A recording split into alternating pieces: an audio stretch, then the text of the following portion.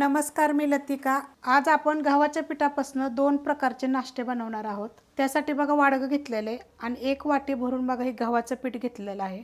चाळून घ्यायचं व्यवस्थित आणि वाटी जरा ही मोठ्या आकाराची आहे बघा. ह्या चमच्याच्या मापानं बघा तीन चमचे बारीक रवा घेतलेला. एकदम झिरो नंबरचा बारीक रवा आहे अशा पद्धतीचा. तीन चमचे आहे बघा. एक मोठ्या आकाराचा कांदा एकदम बारीक असा कापून घेतलेला आहे बघा. उभा जरी कापला तरी चालेल असा बारीक कापला तरी पण चालेल. जर छोट्या आकाराचे असले तर दोन घ्या तुम्ही. एक मिडियम आकाराचा तंबाट आहे बघा ते पण असं बारीक कापून घेतलेलं आहे. एक शिमला मिरची आहे ती पण अशी बारीक कापून घेतलेली आहे. छोट्या आकाराचे मोठ्या आकाराची असली तर अर्धीच घ्यायची. कोथिंबीर कढीपत्त्याची पानं अशी बघा कापून घेतलेली आहेत बारीक एकदम. लसूण आलं हिरवी मिरची मी कुटून घेतलेली आहे. त्याच्यावर थोडंसं जिरं पण बघा दिसत असेल मी कुटून घेतलेलं आहे. कुटून घेतलं का नाही की चव चांगली लागते आणि हिरवी मिरची आपल्या तिखटाप्रमाणे घ्यायची. कमी जास्त केली तरी पण चालते. कलरवाली आणि तिखटवाली छोटा अर्धा चमचा मिरची पावडर आहे. हिरवी मिरची कमी टाकली तरी चालेल पण लाल मिरची जरी टाकली तरी पण चालेल. पण हिरव्या मिरचीने चव येते त्यामुळे थोडी तरी टाकाच. हळद थोडीशी. जिरेदाणे पावडर बघा दरदरे केलेली आहे ती. अर्धा चमचा अशा आकाराचा चमचा आहे. चव्यानुसार मीठ सफेद तिळ आहेत बघा एक चमचा. ह्या चमच्याच्या मापाने सफेद तिळ घेतलेले आहेत. खायचा सोडा आहे बघा दोन चिमूट फक्त दोन चिमूट घेतलेला आहे. आता ह्याच्यामध्ये बघा पहिलं आपण हातानं असं कालवून घेऊया ह्यात तुम्ही काय काय टाकू शकता? तुम्ही ह्याच्यामध्ये बटाटा खिसून टाकायचं गाजर खिसून टाकायचं. व तुम्ही कोबीसुद्धा एकदम बारीक असा पातळ कापायचा आणि तो टाकायचा. मोठ्या मोठा असा टाकू नका बारीक कापायचा. जे पण तुम्ही टाकाल ना बारीक कापून टाकायचं. ह्याच्यामध्ये तुम्ही तीन चमचे दही टाकू शकता फ्रेश दही. आणि जर आंबट असेल तर दोन चमचे दीड चमचा जरी टाकलं तरी पण चालेल. आता हे आपण थोडं थोडं पाणी टाकूया आणि मिक्स करून घेऊया. थोडं थोडं पाणी टाकून बघा मी कालवून घेतलेलं आहे. अशा पद्धतीत कालवून घ्यायचं. जास्त पातळ नाही आणि जास्त घट्ट नाही. आता हे कमीत कमी पाच ते सात मिनिट आपल्याला झाकून ठेवायचे. कारण मोठा रवा असला तरी तो भिजला जाईल आणि बारीक असला तरी तो भिजला जाईल. आता हे मी झाकून ठेवते. पाच ते सात मिनिट झालेत बघा मी झाकून ठेवलं होतं. मिक्स करून घेऊया. अशा पद्धतीत होतं बघा चांगलं भिजलं जातं. थोडंसं पातळ केलं होतं तर बघा आपण भिजल्यानंतर रवा एवढं घट्ट झालेलं आहे.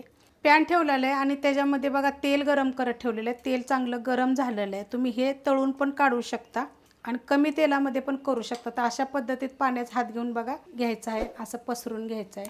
मस्त होतात हे. आणि ह्याच्यामध्ये बघा तुम्ही थोडंसं तुमच्याकडे जर ओलं खोबरं जरी असेल ना तर तीट जरी टाकलं तरी चालेल. पोरांना तुम्ही टिफिनला देऊ शकता. आणि नाश्त्याला पण हे खाऊ शकता. बघा अशा प्रकारे छोटे मोठे तुमच्या आवडीप्रमाणे करा. ह्याच्यामध्ये सांगितले तुम्ही भाज्या वेगवेगळ्या प्रकारच्या जसं दुधी भोपळा म्हणा हे म्हणा सुद्धा तुम्ही ह्याच्यामध्ये टाकू शकता. बघा आता आपण हे थोडं थोडंसं करून घेऊया. आणि गॅस मिडियम आहे तेल गरम झालं की गॅस मिडियम करायचा आणि मिडियम गॅसवरच आपल्याला हे चांगलं क्रिस्पी तळून घ्यायचे. ह्याच्यावरनं बघा असं थोडं थोडंसं तेल टाकायचं म्हणजे वरची साईड पण चांगली भाजली जाते अशी. आपल्याला पलटी करून भाजायचंच आहे तरी पण हे तेल असं गरम गरम आपण असं टाकून घ्यायचं ह्याच्यावर थोडं थोडंसं. पलटी करून घेऊया. बघा किती मस्त असे झालेले आहेत. तुम्ही हाताने करू नका बरं का मला ह्या सगळ्याची सवय आहे त्यामुळे मी असे हाताने करत राहते. बघा अशा पद्धतीने एकदम कडक करून घ्यायचे. मस्त होतात एकदम. आणि चवीला तर जास्त चांगले लागतात. आणि मेन म्हणजे तेलकट तेलकट होत नाहीत. आता हे तुम्हाला तळल्यानंतर कळेलच की किती तेलकट झालेले आहेत.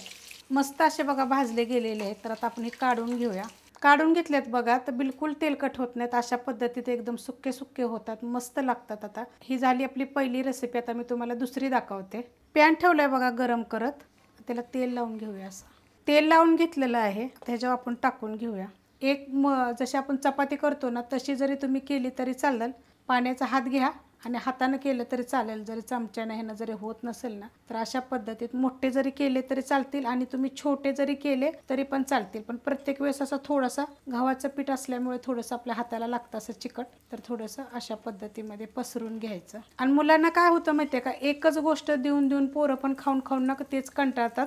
तर थोडंसं वेगवेगळं. तर खूप साऱ्या नाश्त्याच्या वेगवेगळ्या पद्धतीच्या मी रेसिपी अपलोड केलेल्या आहेत. आणि तुम्हाला सांगितलं आहे बाबा ह्याच्यात तुम्ही हे टाका ते टाका. तर अशा पद्धतीने बघा ठेवून घ्यायचं. आणि हे पण आपण आता व्यवस्थित चांगलं खालची साईड भाजून देऊया. आणि मग पलटी करूया. पलटी करून घेऊया. मस्त पलटी होते बघा. असं खालची साईड चांगली भाजली की नाही की मग असं पलटी करायचं. एकदम पातळ सुद्धा तुम्ही करू शकता आणि चपातीसारखं मोठं पण तुम्ही बनवू शकता. आता ही मिडियम गॅसवर मी खालची साईड पण चांगली भाजून घेते. ह्याला तेल लावायचं नाही एवढ्याच तेलात हे चांगलं भाजलं जातं. अशा पद्धतीने बघा मी भाजून घेतलेलं किती मस्त भाजलेत बघा. आणि पाठीमागची साईड पण बघा.